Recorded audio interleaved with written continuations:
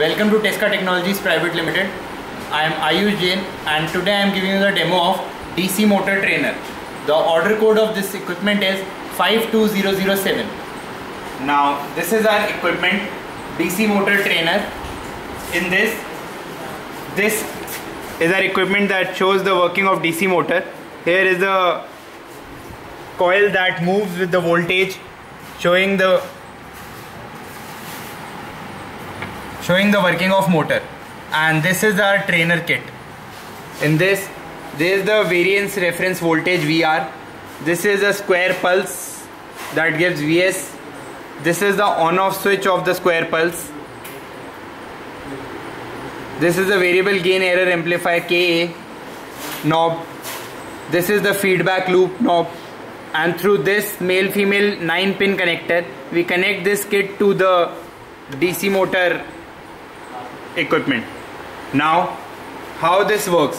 First let me take you to the experiment. The first object is effect of loading on the speed of the motor in the open loop and closed loop. Now for this first of all connect. First of all we set K.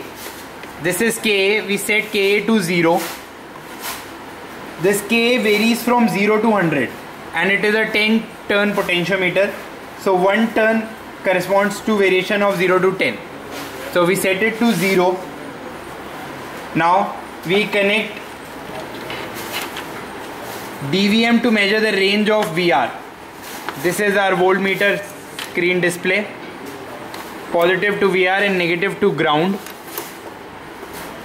Now when we switch on we can check the variation of the voltage you can see it goes up to 13 point something voltage 13 point 13 voltage approximately. 0 to 13 voltage. Now we switch on this vs we switch on this vs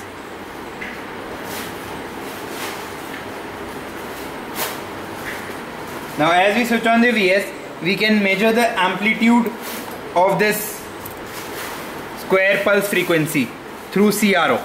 This is our CRO in which we can measure the amplitude of this. Connect positive to VS through this CRO cable and negative to ground.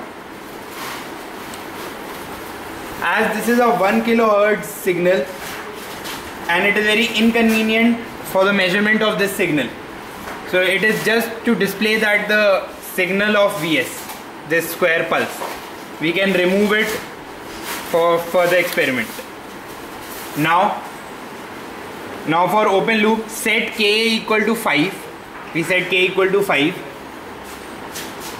Now, we set VR, vary VR in such a way that we get the reading in tachometer. This is a tachometer to measure the RPM of the DC motor, we get the reading in tachometer to 1200 RPM. And take this, this is a eddy current braking knob, put it to zero. That is, it should be zero, no braking setting. And this is the full braking setting.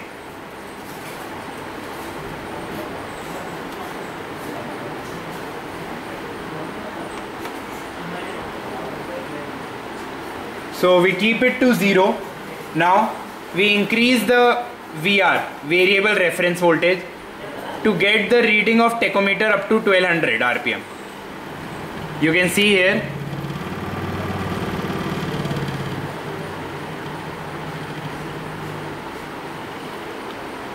Vary it very slowly.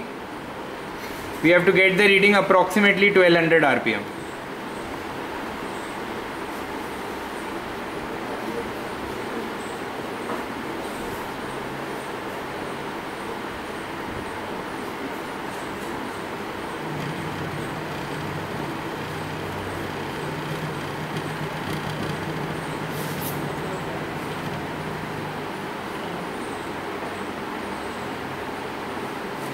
As the variation is very less it is difficult to set it at 1200 ampere 1200 rpm so vary it very slowly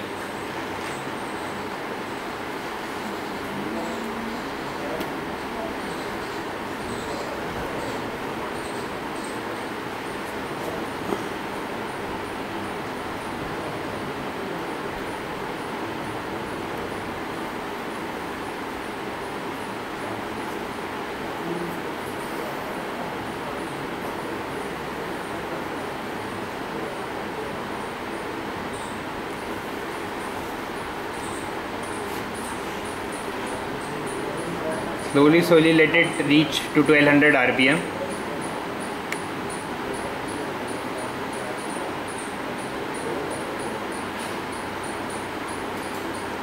we have to record the variation of different variation in the speed for different settings of eddy current. So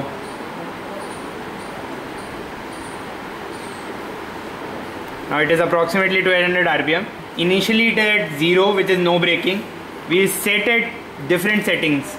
This is a different setting for eddy current rpm we will see that there is a decrease in the rpm of tachometer. When we further take it down and increase the braking the tachometer reading will further decrease.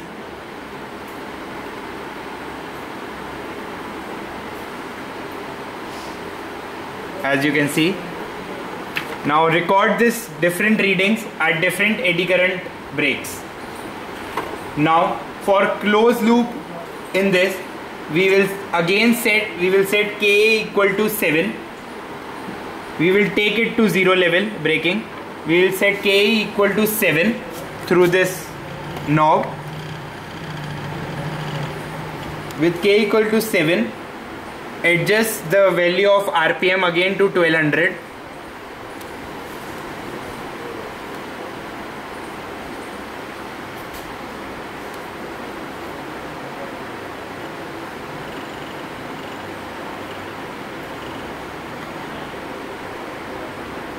now this is approximately 1200 now vary the different settings of eddy current. I continue, continuous varies so we will take the approximation value. Vary the different settings of eddy current and calculate the value of the tachometer reading. As we apply brakes the tachometer reading will decrease as you can see here from 1200 it has reached to approx 850 this was our first experiment.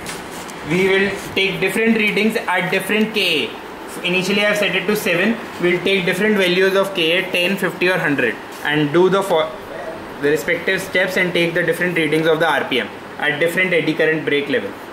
Now the second experiment experimented steady state error variation with forward gain in the open loop closed loop motor and tachometer now first we will set VR equal to 1 volt and Ka equal to 3 K equal to 3 and VR equal to 1 volt. Approximately 1 volt I have set here.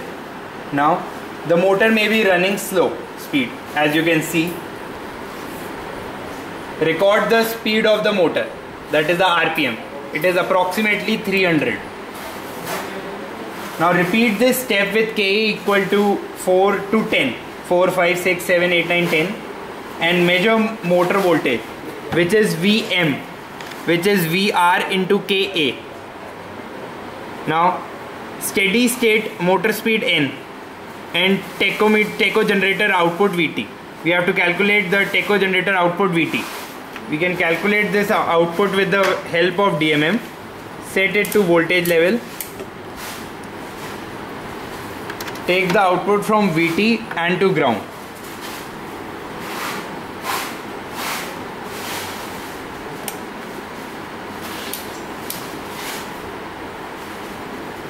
You can take the output of VT, it is approximately 12 millivolt. Now vary your reading with the variation of Ka from 4 to 10 and the different values of VT VR, N, VM and Km will appear. And we have to plot the graph between N versus VM, VM which is the motor voltage, N versus VM, VT versus N. We have to plot these different graphs. And through this graph we have to obtain the value of Km and KT which we will see in the next page of the manual. Km and KT km is the motor gain constant km which is shaft speed in radian per second which is n upon motor voltage vm. And tacho generator gain kt which is vt into volt second divided by wss and the reading is volt second per radian. Vt by WSS. This is the tacho generator gain KT. Now in the closed loop closed loop part we will set VR equal to 1 volt approximately 1 load. Ka equal to 5 the motor may be running at a slow speed. Now we'll record the reading of tachometer that is the RPM and the voltage Vt again we have to calculate the voltage Vt now it is approximately 1.10 volt record this voltage and the and then we will find the steady state error ESS which is VR minus VT our VR is approximately 1 volt 0.99 volt and VT is 1.16 volt. So the difference is the error ESS repeat the steps for K equal to 10 15 20 to 100 and calculate the different steady state errors.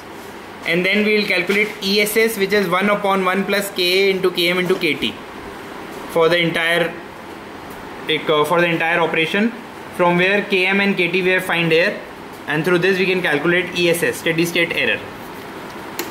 Now the third experiment. The third experiment is system time constant variation with forward gain in the open loop closed loop. This is a bit theoretical part in this. To calculate motor time constant with square wave signal we will take Vs on and set Vr and K so that the peak to peak variation of Vm lies between 3 to 8 volt. Now we will uh, take our DMM and set it to Vm. Vm is this motor voltage positive to Vm and negative to ground. Now as we switch on we, we will set we will take Vs as on and we will set the values of Vr and K such that the VM lies between 3 to 8 volt.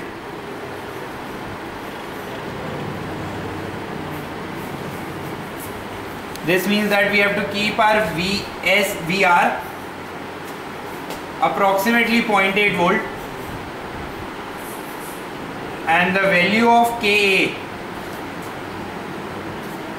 to be less than 6 approximately 5 or 4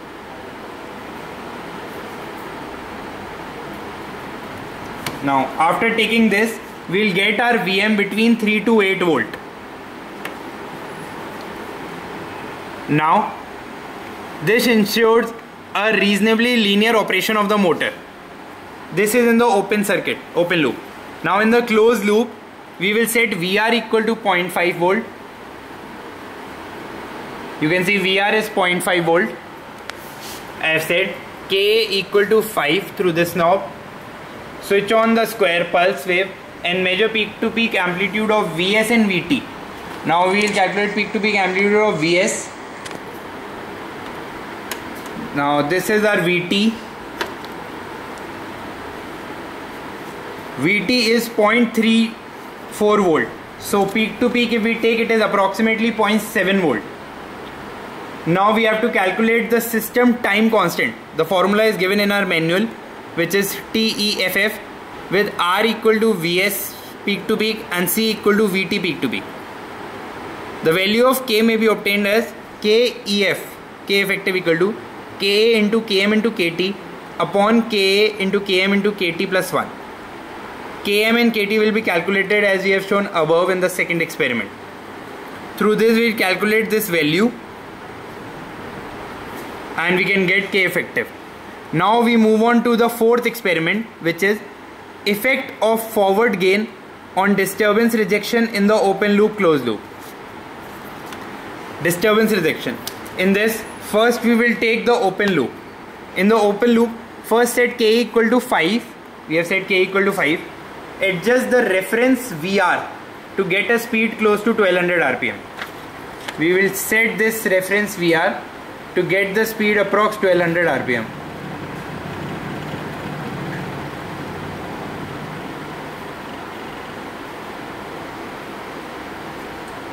This is approximately 1200 rpm and it is decreased.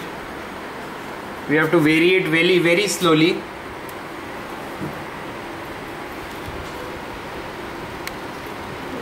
Now this is approximately 1200 rpm the braking setting should be at 0 we will take the braking setting should be at 0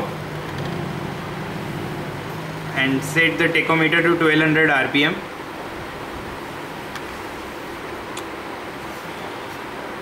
approximately 1200 rpm now we'll record and tabulate the motor speed variation for different settings of the eddy current. Now we will take the different settings of the eddy current.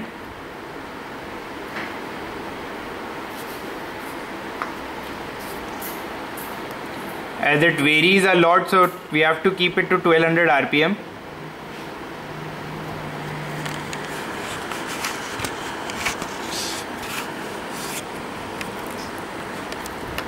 now we'll take the different settings of eddy current at different levels of braking point and calculate the variation in the tachometer. As you can see this is the different settings of the eddy current you can see through this braking level and we'll calculate the difference different values of tachometer n. Now we'll calculate the percentage decrease in speed of each setting of the brake starting from no braking after calculating the values this will be the graph that will be obtained as shown in our manual. Now in the closed loop we will then now this is the this was the open loop part now the closed loop part. We will set k equal to 5 terminal 5 now we will short the feedback path vf and vt we will short the feedback path adjust the braking level to 0 and set the VR in such a way and set the VR in such a way braking level to 0 and set the VR in such a way we get the tachometer reading to 1200 rpm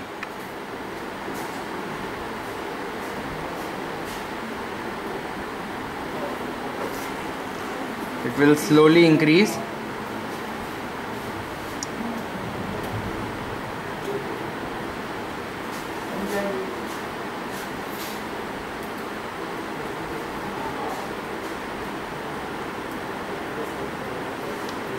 Get it approximately 1200 rpm, measure the value of rpm at different eddy current settings or braking.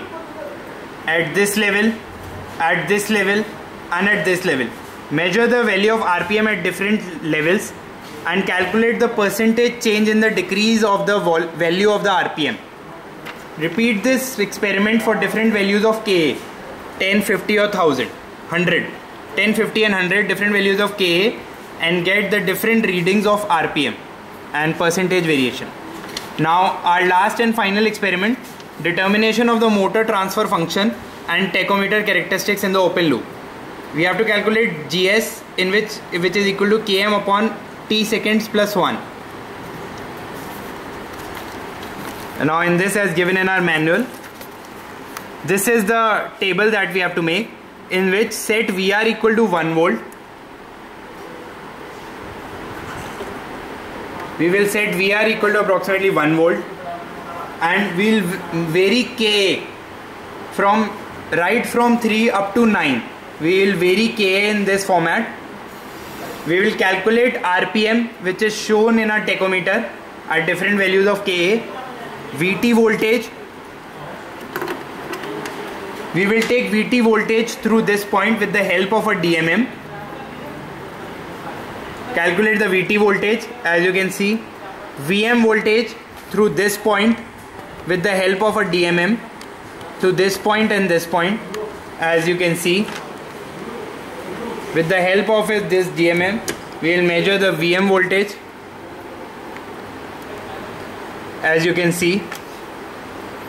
For different value of Ka we have to measure the different value of VM after taking these values we will find Ka which is Vm divided by Vr and we will get these values. After making this table we will calculate T with this formula as you can see in our manual this formula will help us to calculate T. After calculate T put this in the motor transfer function GS as you can see this formula and we will get the motor transfer function GS. The results will be obtained in the closed loop performance, take VR equal to 1 volt, vary Ka from 5 to 100, measure the value of N, same as we have done in open loop, calculate Vt through this point with the help of DMM and now we have to short this point and calculate ESS which is VR minus Vt. This is capital ES experiment and the theoretical ESS is, is 1 plus Ka into Km into Kt. Calculate these value with the with the help of this trainer kit and make this following table. Now after making this table with the help of this formula of T effective for the closed loop performance calculate the value of T effective. That's it in this experiment. For this you need our lab manual as it contains all our formulas and the functions. So consult this lab manual very carefully to get all the formulas. For any further information, please consult the lab manual. Thanking you.